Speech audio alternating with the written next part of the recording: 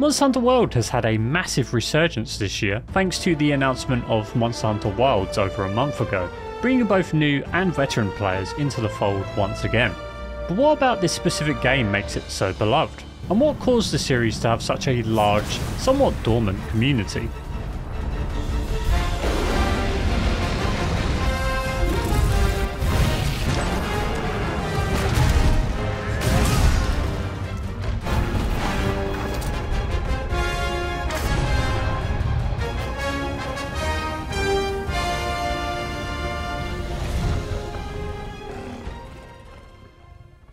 The Monster Hunter franchise, published and developed by Capcom, spans almost 20 years and 4 console generations, practically touching every console that has existed since the PlayStation 2.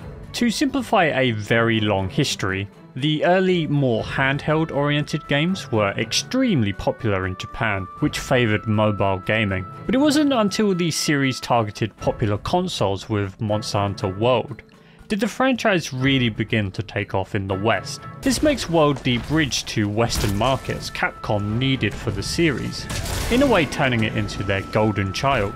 But what makes World so good?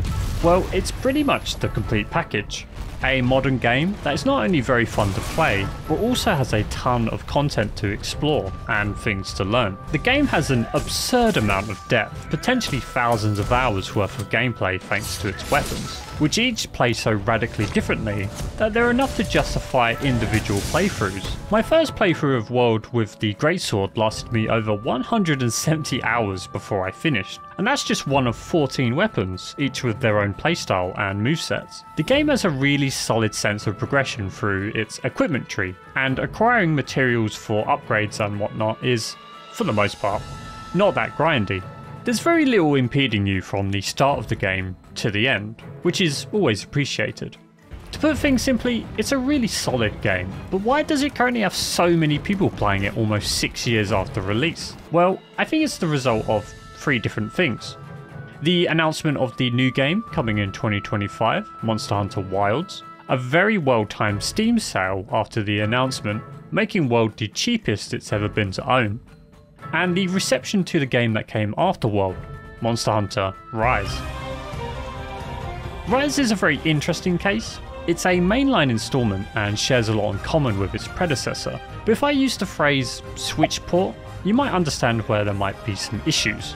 The game was made with the Nintendo Switch in mind, and was ported over to PC later. And while the game is certainly not bad by a long shot, the technical limitations of the Switch mean that the game lacks a lot of the details found in the previous game. It also radically changes a lot of the mechanics found in World, and hits more of an arcade style that split players on which game they preferred. In the game's defense, it does make a lot of important improvements over World, and is generally a smoother experience. In a way, these differences mean that Rise doesn't fill the traditional role of a sequel, and once the hype for Wilds came around, and people decided to hop back onto the series, they mostly picked World. I think this outcome is also partly because the game was twice as cheap as Rise during the Christmas sales. I'd like to know what you guys think though. Why did people really choose World over Rise in your opinion? Regardless of the reasons, the game has found itself pushing into six digits again. Capcom even did a mini series of news posts guiding new players through the early game and giving useful advice.